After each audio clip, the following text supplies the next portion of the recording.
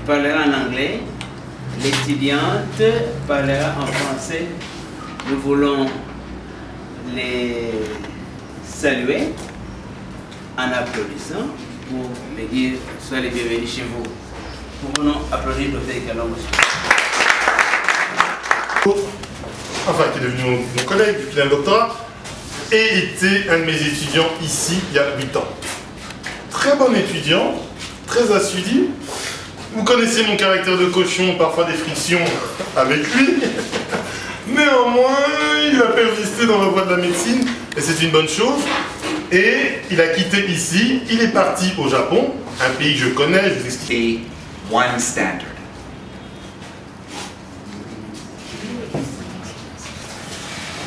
And that is the standard of world excellence. Euh, et ces standards sera le standard de l'excellence. My first priority is to commence with the reinstatement and opening of the practical medical clinic. The opening or to restructure to start the medical clinic, the outreach clinic. I will do whatever it takes to have this implemented within the next two weeks. euh,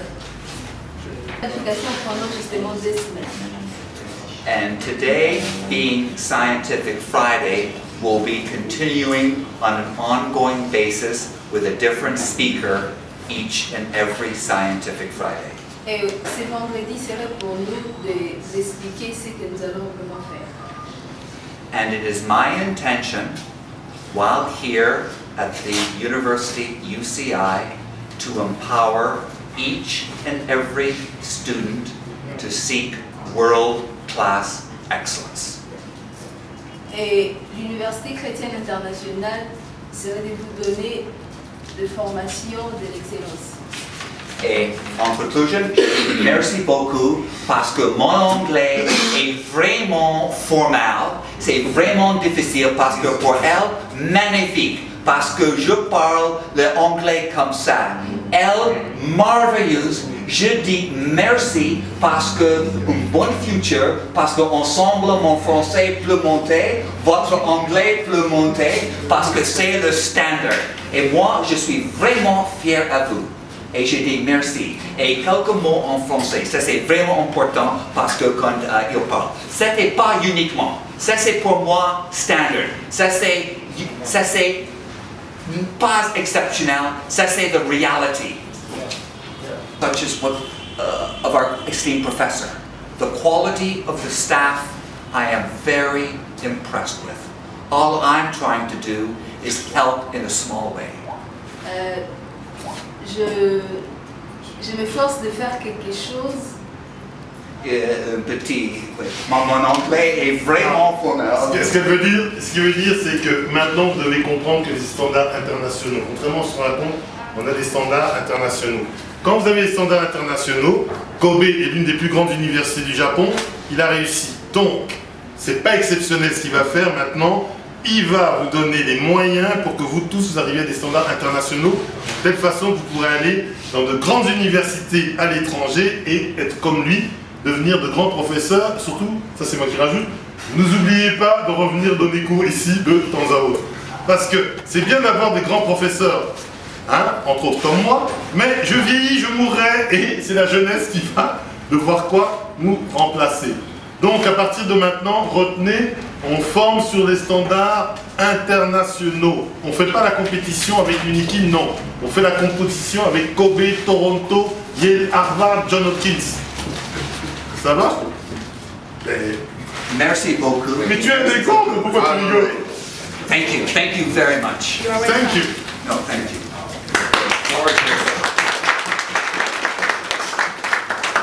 Maintenant, mon ex-étudiant et collègue, bientôt mon mentor, puisqu'il m'a dépassé, docteur Ekalongo.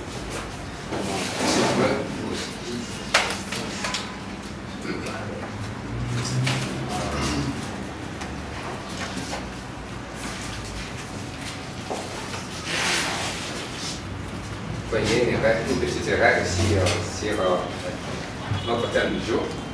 ça aurait dû être la... Bien sûr, lorsque vous partez dans une université, il y a toutes les formalités à remplir, les étapes, c'est-à-dire, comme au Japon, il faut apprendre la langue, six mois, et puis après ça, vous devez passer l'examen d'entrée.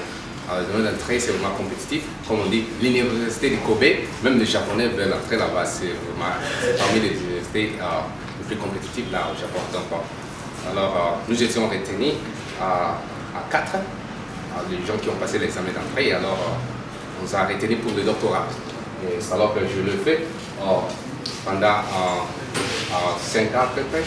Et après ça, je suis parti à Tokyo pour des ans dans notre université pour faire les J'étais sur ma staff académique. Je travaille mon staff académique pour augmenter un peu le niveau de ma connaissance avant que je puisse aller en Amérique. Donc, présentement, je suis à je suis à Masonic Cancer Center. Euh, ce n'est pas les francs-maçons, bien sûr. Ils ont reçu des fonds. C'était le département de l'oncologie médicale à, à l'Université de Minnesota. Étant donné qu'ils avaient reçu des fonds très importants venant de, la fondation franc-maçonnique, et euh, pour signe des récompenses, ils vont dire Masonic Cancer Center. C'est ça, c'est là où nous sommes. Et alors, la question que mes excuses encore, il y a un problème dans la famille. J'ai juste perdu mon père, notre papa qui nous a élevés. Il nous a quittés euh, brusquement. Euh, je pensais venir au Congo l'année prochaine pour la, une grande visite. Ben, et il nous a quittés. Euh, et puis je suis le né, mes petits frères sont là. Il y a un qui est là, il est médecin aussi. L'autre qui est là, il, fait les droits. Alors, je suis là pour, pour cette raison-là. Et raison pour laquelle je n'ai pas vraiment travaillé cette présentation-là du fond. Mais pour euh, la courtoisie scientifique, on doit avoir quand même une courtoisie envers euh, euh, la maison, pour l'institution qui m'a élevé. Et raison pour laquelle je suis venu ici pour, pour vous rendre cette courtoisie. Donc, alors, je me suis toujours posé cette question-là. Sommes-nous en train de poursuivre ou de chercher à guérir le cancer Cette question-là que je me suis posée. Alors c'est ça ce qui va constituer euh, euh, notre point du jour. C'est-à-dire on va développer certains éléments-là qui a ça. Donc, euh, pourquoi À travers cette question-là, comme on vous a dit lors de mon introduction, que j'étais là au Japon, j'étais au département de l'oncologie médicale. Alors ça, c'est Et c'est mon professeur, le professeur chef, et celui-ci, c'était mon mentor celui-ci le superviseur, mon mentor, celui-ci il était oh, mon superviseur en clinique. Parce que des fois, lorsqu'on va en clinique, celui qui était en train de m'instruire, etc., de me dire ce qu'on fait, en train de suivre s'il était vraiment bon. Et, là, les, ici, nous sommes étudiants 1, étudiants 2, étudiants 3, étudiants 4. Il y avait les 4 étudiants. Alors, euh, les autres là, étaient euh, les cliniciens aussi, c'est-à-dire euh, les gens qui travaillent là en permanence, nous, c'était des étudiants en, cancérologie dans ce département. Donc, je disais, l'oncologie médicale, autrefois, c'était une petite branche qui faisait partie de la, des sous-branches de la médecine interne. Qu'est-ce que je veux dire par là? C'est-à-dire, parlons par exemple de, de la pneumologie. Les gens qui traitaient sur la pneumologie, par exemple, ils devaient aussi traiter les maladies cancéreuses dans ces domaines-là. Les gens qui étaient là pour euh, la néphrologie, ils devaient aussi traiter les cancers hein, en, néphrologie. Donc tout, chaque organe, euh, c'était comme ça. Alors, euh, durant plus ou moins deux décennies, il y aura un nouveau vent qui va naître, c'est-à-dire on va constater que ce n'est pas seulement un domaine qu'on doit gérer ça d'une façon locale, c'est vraiment systémique. Je vais essayer d'expliquer ça. C'est alors qu'on va commencer à créer les départements. Ces départements été créés en 2007. En 2007 au départ, il y avait les centres de cancer. Il y a un centre de cancer au Japon qui a existé pendant au moins 20 ans comme ça. Mais en 2017, dans une grande université pour la première fois. Ça, c'est pour démontrer tout simplement que euh, l'oncologie médicale, c'est une branche euh, qui, qui, est né de nouveau. ça? Existait, mais sous autre forme. Cela est né de nouveau sous une autre forme, une, branche à part entière de la médecine. Donc, um, c'était en 2007, alors c'était créé euh, par ces trois à, l'université de Kobe. Et alors, et là, nous sommes au département de la pathologie diagnostique. Bien sûr, j'étais en oncologie médicale, mais une fois, j'ai parti là-bas pour le diagnostic. C'est-à-dire, mes trois dernières années, je faisais comme le, double major. C'est-à-dire, des fois, je devais aller là-bas pour euh, les pathologies, pathologies diagnostiques, en faisant des biopsies, euh, des analyses euh, des tissus cancéreux, etc. Celui-ci, c'est mon professeur. Et lui, il m'a enseigné personnellement.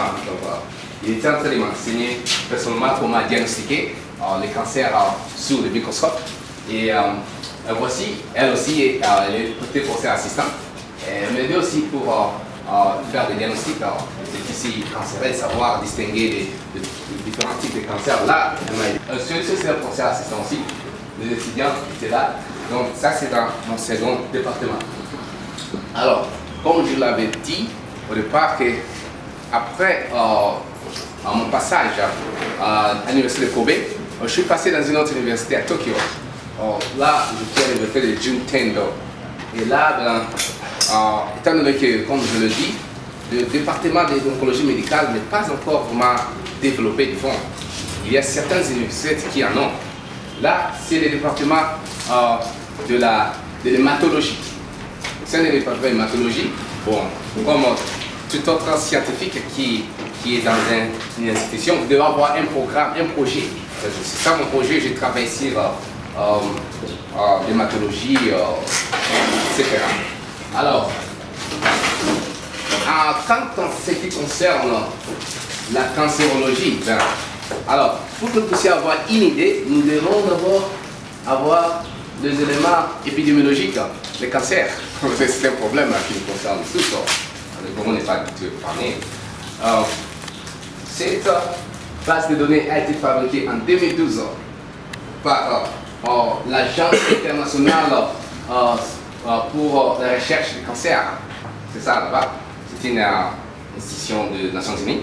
Alors, appelle ça, ils ont fabriqué ce qu'on appelle le Global CAM. C'est une base de données en 2012. Alors, c'est base de cette moteur de recherche, vous pouvez avoir des données statistiques pour chaque région et globale, etc. Donc, c'est ça, pour ceux-là qui veulent avoir, comprendre c'est la, distribution des cancers euh, euh, dans le monde, ou encore dans notre région, il suffit seulement d'entrer ici. Et vous entrez, vous aurez tous les éléments possibles. C'est ça.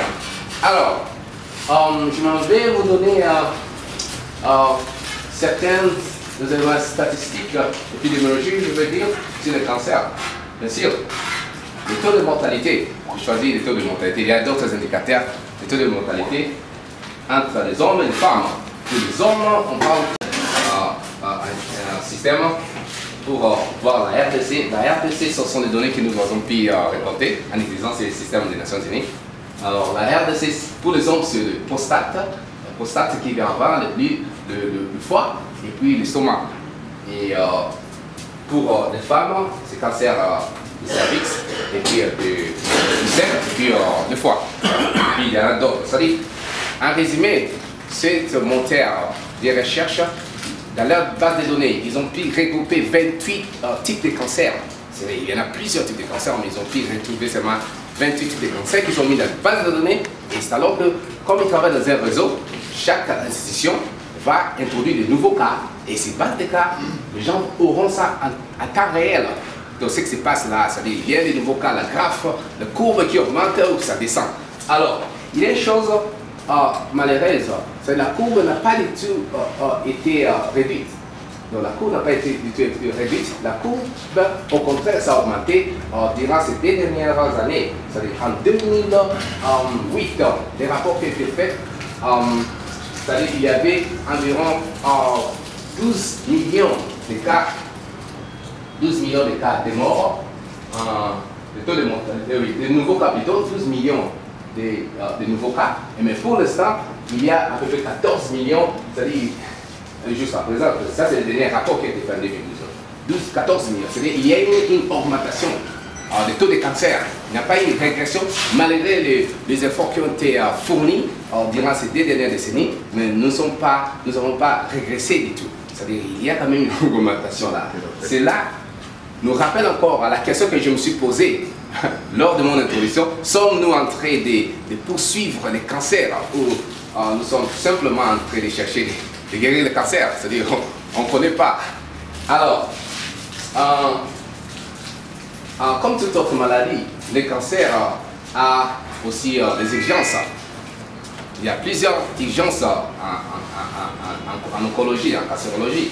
Alors, ces exigences-là, si en les voyant, ça, ça, ça à, d'autres systèmes, c'est-à-dire ça atteint d'autres systèmes. Par exemple, en neurologie, vous allez voir qu'il y a la compression de, euh, de, moelle épinière, de moelle épinière par euh, le, métastases, par exemple. S'il y a une métastase, souvent avec les cancers du sein, euh, les cancers de prostate, et puis les cancers du poumon, ils font des métastases, alors s'ils causent ce qu'on appelle, s'ils causent une compression de la moelle épinière, alors ça peut avoir les répercussions sur le nerf, puis vous voyez, les nerfs atteints de, de, paralysie, vous comprenez, et autres euh, complications afférentes à cette partie. Donc, ça dépend des endroits.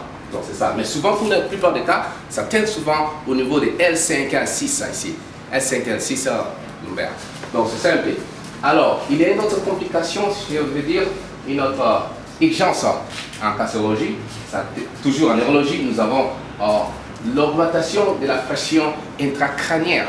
Celle-là est dite tout simplement euh, à, la présence euh, ou à une obstruction de tumeurs au niveau, à ce niveau-là. Alors, ça empêche à ce que les, les liquides céphalorachidien puissent circuler normalement. Alors, il y a augmentation. Alors, dès que nous voyons nous mesurons de 20 mm de mercure, nous pouvons tout simplement penser qu'il y a un problème là-dedans. Et bien sûr qu'il y a d'autres causes aussi hein, qui peuvent nous amener à voir ce genre de signes-là. C'est-à-dire, les mêmes signes que nous pouvons voir dans d'autres maladies, les cancers aussi lui recoupent ce, genre de signes-là. Alors, nous pouvons les, les confusions aussi. Les confusions aussi, c'est l'un de, de, parmi les, les, cas des que nous pouvons voir. Alors, nous avons par exemple l'accélération de, l'état mental, etc. Alors, nous avons par exemple au niveau cardiologie, cardiologie, nous avons par exemple les tamponades. Les tamponades, lorsqu'il y a des fusions, etc. Alors, les cancers aussi peuvent nous amener à ce genre d'exigences-là. Nous pouvons avoir euh, le syndrome de, la veine cave supérieure. Ça aussi, c'est-à-dire qu'il y en a plusieurs formes de, euh, exigences en conclusion que nous pouvons voir si nous comptons, il y a à peu près 20, si nous comptons, il y a à peu près 15 à 20 exigences en cancérologie. Ah, mais si nous voyons très bien parmi les exigences que j'ai essayé de soulever là, ces exigences-là touchent presque tous les domaines, c'est-à-dire toutes d'autres branches de la médecine. Ça, prend la, néphrologie, la neurologie, la cardiologie, la pneumologie, etc. Donc, cela prouve que la, l'oncologie médicale euh, doit être, ne doit pas être une science isolée, ça doit être une science, comment dire, une branche à part entière de la médecine, de la médecine interne, c'est complet. C'est ça. Et c'est ça ce qui a poussé les scientifiques partout au monde de faire ça d'une branche à, part entière. Comme je vous ai dit, chez nous maintenant, là où j'étais à cette université, à l'université de Kobe, ils ont commencé en 2007, ils étaient au nombre de 10 personnes 12 à 10, personnes membres du département. Et maintenant, euh, et maintenant ils sont au nombre de, dans ces départements donc, je disais. Maintenant, le département, ils sont au nombre de 60 personnes, département d'oncologie médicale. Et en plus de cela, ils ne se sont pas arrêtés là-bas. Ils ont maintenant ce qu'on appelle Japanese Society of Cancer Research. C'est-à-dire la société... Euh, euh, Mais euh, je ne sais pas comment traduire ça en français. La société japonaise pour la recherche. Oui, pour la recherche des cancers, c'est ça. La société japonaise pour la recherche des cancers, c'est ça. Et alors ça, ils en ont fait, et celui qui est en train de, gérer ça, c'est mon professeur, hein, c'est professeur. Ils, organisent des conférences, etc. Il y a des gens qui vont là-bas, c'est ça un peu. Et c'est ce qui nous manque, par exemple, ici en RDC. Nous n'avons pas un département de l'écologie médicale, donc nous ne pouvons pas faire un pas de plus. Et ils ont commencé, ils en ont fait. Et moi j'étais là, j'ai vu comment ils ont fait ça. Mais ils n'ont pas de plus pour aller euh, faire euh, ce genre de choses-là. Alors, euh, il y a une question qui se pose. Mais les cancers, là, nous devons avoir des, approches pour le traiter. Il y a, eu plusieurs approches. Donc, la chirurgie, vous le savez, hein, on va faire la chirurgie. Il y en a d'autres, la chimiothérapie. Alors, je vous rappelle, la chimiothérapie, c'est venu durant la Deuxième Guerre mondiale, lorsque les gens utilisaient la gaz à moutarde pour bombarder les soldats. Alors, on a constaté que les soldats qui étaient exposés avec, euh, dans un milieu où il y avait le gaz à moutarde, avaient l'aplasie euh, des, de la moelle épinière. Hein. C'est-à-dire, il y avait un problème de formation des, de, cellules blanches ou de cellules rouges, etc. Et même une anémie, etc. Alors, ils ont compris que ça il y avait quand même certains euh, euh, effets thérapeutiques. C'est alors qu'en 1940, ils vont utiliser ça en Amérique pour traiter le lymphoma. C'est ça. Alors, ça c'était une partie de l'histoire. La radiation aussi, c'est l'une des stratégies que nous utilisons pour traiter les cancers. Alors là, c'est suffisamment de bombarder les cancers avec des rayons hein, radioactifs. Alors, le cancer va. nous bombardons, nous donnons les noyaux des cellules cancéreuses. C'est ça l'objectif. Mais encore avec ça, je vous rappelle que c'était après la Deuxième Guerre mondiale, tout simplement à cause de Hiroshima et Nagasaki. on devait y avoir une bombe euh, au, Japon pour que les gens puissent comprendre euh, les potentialités qu'il a bombe. Ah, ah, sur les humains, parce qu'il avait des cancers, etc. Alors on va, que non, ça attaquait les noyaux. Et puis, euh, par ça, on peut maintenant utiliser ça. il y avait des gens, si on vous bombarde avec une grande dose de substances radioactives, vous mourrez sur le champ. Parce que les cellules ne vont pas résister, vous mourrez sur le champ. Mais, alors on va comprendre, en réduisant les doses, hein, c'est-à-dire on peut prendre le 70 gray, c'est ça l'unité, hein, les 70 gray, en, bombardant avec ça, c'est quand même réduire pour guérir une personne. Hein. C'est-à-dire tuer seulement les cellules cancéreuses. Ce n'est pas seulement les cellules cancéreuses, mais même dans d'autres types de maladies. Hein, on va utiliser cette approche pour euh, le traiter. Euh, donc c'est ça Alors, il y en a encore une autre là qui va naître, c'est l'immunothérapie.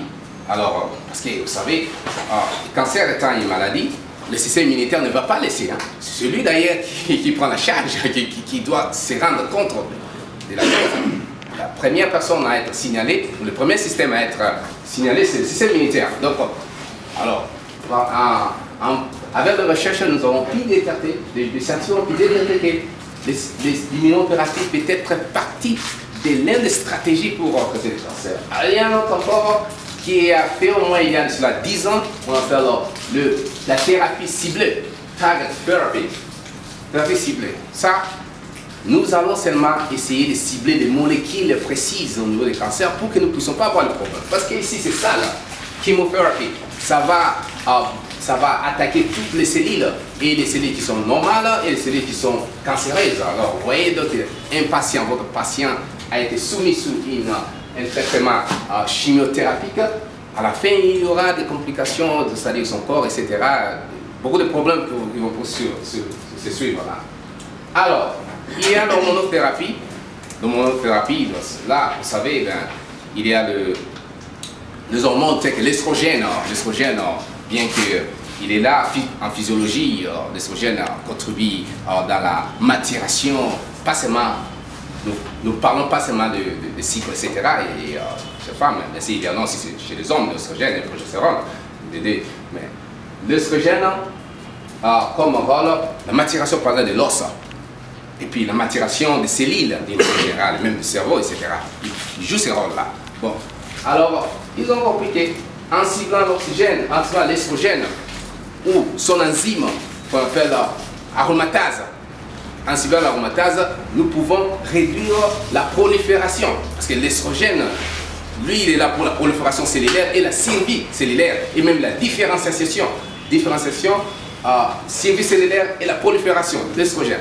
Alors, en donnant ce genre de produit-là, alors nous pouvons réduire ça. Alors ça, c'était en 1973 que euh, euh, ce genre d'approche a été mis pied. Euh, malgré toutes les approches qui ont été faites, bien sûr, il y a une régression très importante des taux de morbidité et de mortalité, bien sûr, à comparer à l'époque. Mais il y a une, évidence, en est que ce genre de procédures-là, surtout la chimiothérapie, la chirurgie, la radiothérapie, atteint souvent les cellules normaux. Alors ça, ça crée un problème. Nous devons développer d'autres approches pour pouvoir s'échapper à ça. Alors, nous devons aller au niveau cellulaire pour comprendre. Et même la chirurgie, il peut y avoir des métastases, des, métastases microscopiques. C'est ça. Alors, je monte de premier pour parler des cancers, euh, pour des, principes euh, euh, immunothérapeutiques. Pourquoi ça? Comme je l'ai très bien évoqué dans la physiologie, ce système-là intervient au fond pour, pour la reconnaissance des antigènes, ainsi des bactéries, etc. Ce qui est de notre cas, c'est le cancer. Alors, il y a toute une histoire derrière ça que je ne veux pas traîner là-dessus. Les gens qui vont voir, ils vont essayer de, trouver euh, ce qu'on a dit là. Il y a une évolution de cette euh, approche-là immunothérapeutique. Mais qu'est-ce qui passe là, dans cet environnement-là, c'est-à-dire lorsqu'il y a des cancers? Lorsqu'il y a des cancers ici, le cancer, c'est une cellule qui est vraiment très génie. Il est génie, hein? parce que tout simplement, il produit certaines molécules pour, euh, pour distraire le système immunitaire. Donc, les premiers soldats qu'on appelle les cellules dendritiques. Alors, ces cellules-là, ben, il est distrait parce qu'il y a des molécules qui sont produites pour l'inhiber, inhiber, ces, mécanismes, son activité. C'est ça un peu. Alors, je vais essayer, lorsque nous allons aller en profondeur, de développer euh, ces mécanismes différents. Comment est-ce que nous arrivons là-bas Alors, un petit, un petit rappel sur euh, les systèmes dans, les cellules blanches. Ah, ça, c'est l'exemple de T-cell, des cellules, des cellules T. Alors, il y a tout un, un groupe de molécules. Ces molécules-là ont rôle d'activer les activateurs des signaux. Ils sont là.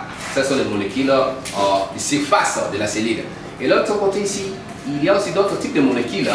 Bon, ils sont là. Il y a des types qui sont là pour inhiber les signaux. Parce que si par exemple la cellule commence à se proliférer beaucoup, on ne doit pas avoir beaucoup de globules blancs. Alors, il doit y avoir un autre système qui doit l'inhiber. Lui-même, il a ça. La cellule a toutes ces possibilités-là. Alors, c'est ça. Et maintenant, qu'est-ce qui se passe là euh, Quelle est l'interaction euh, qui existe là C'est-à-dire qu'il y a plusieurs molécules. Dès qu'avec le euh, dendritic cells, les cellules, les cellules dendritiques, il y a euh, la molécule qui présente l'antigène qu'on appelle euh, le MLMHC. Hein. C'est ça, il faut comprendre ça. Alors, cette molécule-là présente l'antigène. En présentant l'antigène, c'est alors que le cellule euh, T, le va pouvoir prendre ça et produire l'anticorps, c'est-à-dire donner les signaux qu'il faut. Comme c'était, il va, prend le CD le CD8, le, CD, le CD8, ce type de cellule lymphocytaire, lui, il est cytotoxique, hein. c'est-à-dire il va causer la mort de la cellule cancéreuse, par exemple. Mais ces choses-là n'arrivent pas à ce niveau aussi. Tout simplement, la cellule cancéreuse est intelligente. Alors, ces cellules-là, euh, il est même à mesure de produire le même type de molécules comme les cellules dendritiques. Ouais, il produit les MHC. Et en plus de cela, il ne s'arrête pas là-bas, il produit encore un autre type de, de molécules. Il y a une molécule qu'on appelle PD1. PD1, quant à lui, il est là pour, euh, réguler euh, euh, l'activation de la cellule blanche.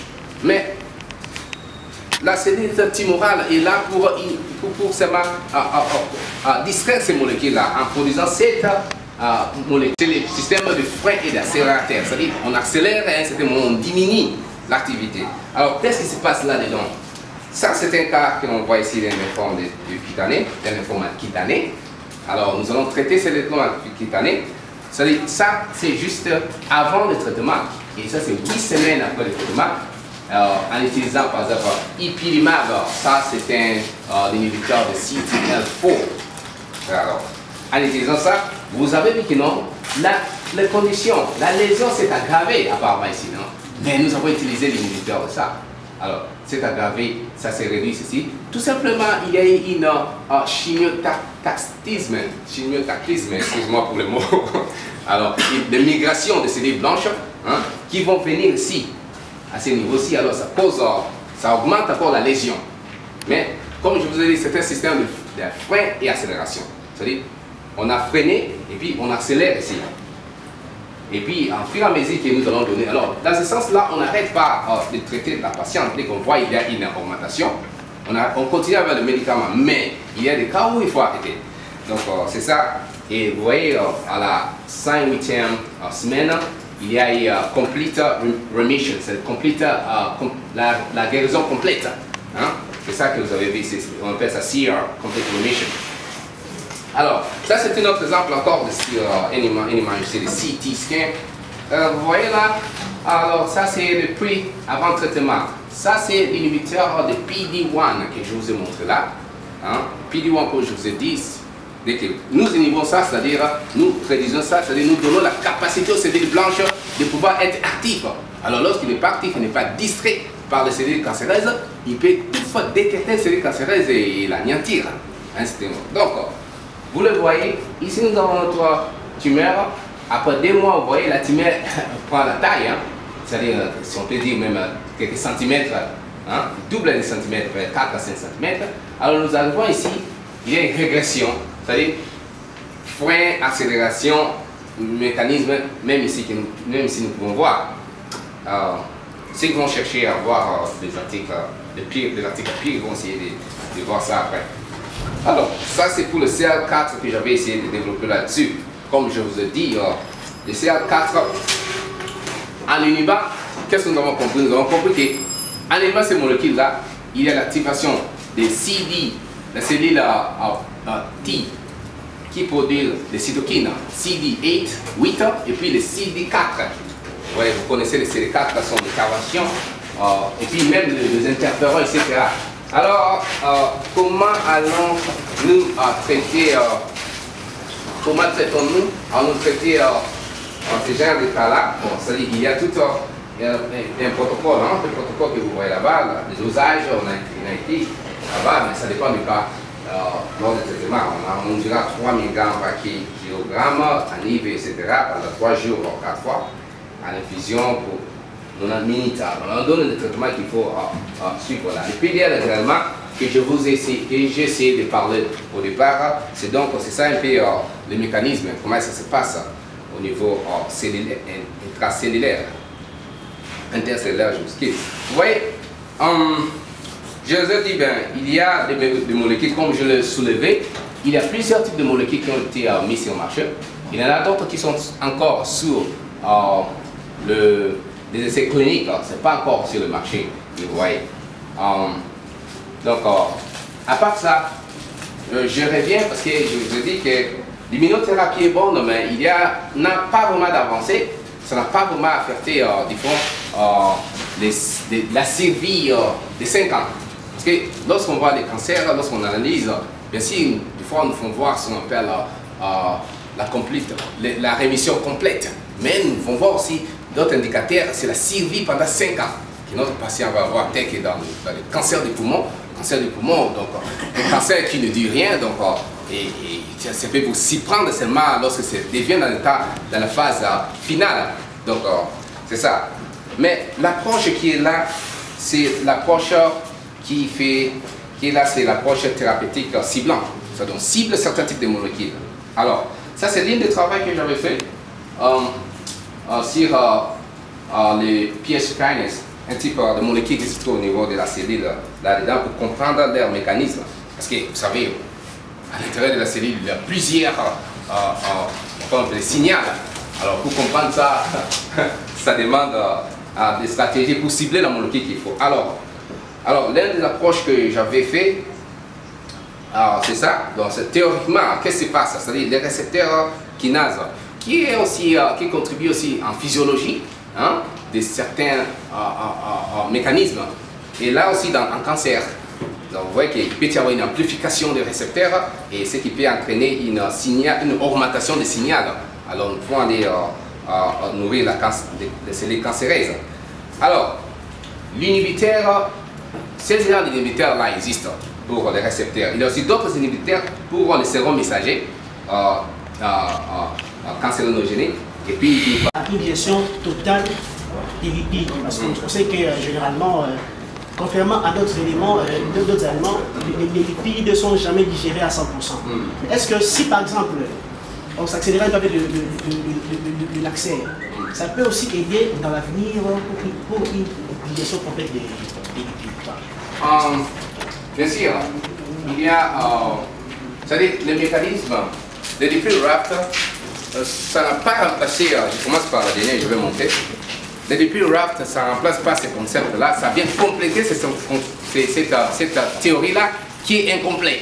Parce que lorsqu'on dit il y a seulement les deux couches phospholipidiques et puis il y a les lipides, les, les molécules transformées, c'était incomplet. Mais il y, en a, il y a 10 ans de cela, cette approche-là est remplacée et seulement modifiée.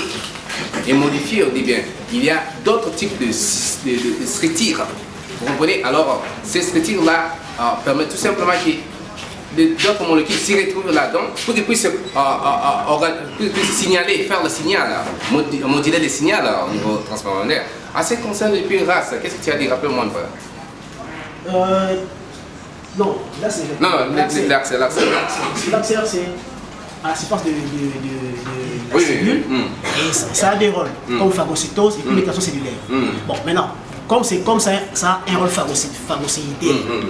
Si par exemple on, on s'accède à travers sur sur l'accès Mm. dans le corps humain, Mm. est-ce que dans l'avenir, ça peut aussi aider à une, à- à une digestion complète des lipides dans le corps? Ah, C'est ça la question.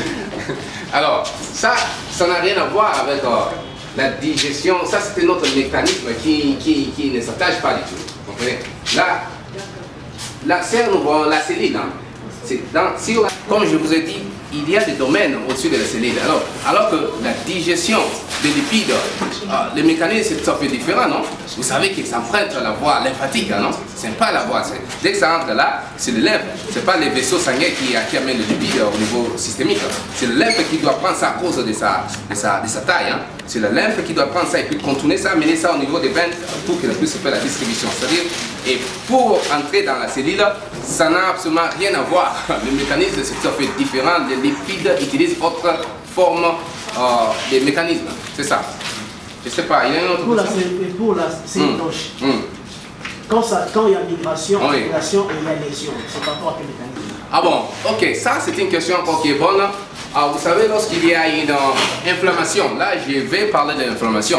La cellule blanche, vous n'avez pas, ah, ah, vous avez pas signifié, mais il y a plusieurs formes de cellules blanches. Mais je vous prends ça en global. En global. En global. Comprenez? La cellule blanche, c'est-à-dire lorsqu'il y a l'inflammation, l'inflammation chronique, L'information chronique, c'est-à-dire vous êtes en train d'exposer la cellule. Je reviens encore au point que j'avais développé, c'est-à-dire vous êtes d'exposer la cellule dans une situation quoi de stress avec l'inflammation parce qu'il y a libération de cytokines. Alors, tous ces molécules-là, ah, alors, va mettre la cellule dans un état de stress, c'est un état d'alerte, le stress cellulaire. Alors, ce stress cellulaire-là peut amener à ce qu'on puisse avoir euh, les cancers. Donc, je reviens aussi à la question qu'il avait posée, mais ce n'était pas de cette manière-là, indirectement. Donc, il parle de, de, de, quoi? Quel, quel cancer de service, par exemple? Oui, oui, oui, par exemple, là, vous- la cellule est exposée par un microbe. Alors, un, un- un vi- un- un virus. Alors, ce virus-là met la cellule dans une position de stress. C'est en produisant certaines molécules et la cellule est dans un état de c'est le jeu des cancers. Mais alors, dans, dans, dans, dans, dans, dans l'apoptose, quand ça va, et le gène, le, le gène suppresseur là, de, de, des tumeurs, dans cet état procédural, et l'étape également de, de- des ADN dans, les, dans le système génétique, est-ce qu'il n'y a pas moyen, hein, il n'y a pas euh, des études qui peuvent déjà, à partir des systèmes génétiques, euh, renforcer les systèmes immunitaires de cette, euh, cette mutation-là pour que la cellule ne soit pas maligne. Parce que si ça rate cette mutation, la cellule devient maligne, ça, ça devient une cellule cancéreuse. L'hépatite B, l'hépatite B, euh, il y a eu euh, récemment un vaccin sur ça. Alors, euh, je voudrais juste être informé par vous. Ah, ok, ok. Ok, ok, je vais. C'est-à-dire, vous avez donné une partie de la réponse qui est votre deuxième question. Alors, c'est les vaccins. Hein? C'est-à-dire quoi? Là, arriver à résoudre ce problème-là, hein? c'est-à-dire que nous puissions empêcher à ce que la cellule hein, soit maligne à cause des de, de types de molécules qui va, va se comporter autrement, Nous pouvons aller par ces mécanismes-là, c'est-à-dire en vaccinant. C'est-à-dire nous sommes en train d'analyser euh, le profil génétique. Hein? Les profils génétiques, euh, voyez voir, train de voir comment est-ce que nous pouvons corriger certains gènes. Mais ça, c'est vraiment euh, euh, ma décision du jour. C'est vraiment sous l'analyse. On est, on le dit, parce que j'ai écouté parler de ça, que non, en prenant par exemple des aspirines, etc., on réduit les risques d'avoir les cancers. Mais euh, chose qui n'est pas du tout évidente, tout simplement parce que lorsque vous inhibez, vous inhibez ces mécanismes-là, c'est-à-dire les neurones inflammatoires-là, j'ai dit, comme je le dis bien, les mécanismes inflammatoires est mauvaise, bien sûr, mais les premiers inflammatoires qui semblent être, euh, qui, qui n'a pas encore traversé la borne, hein,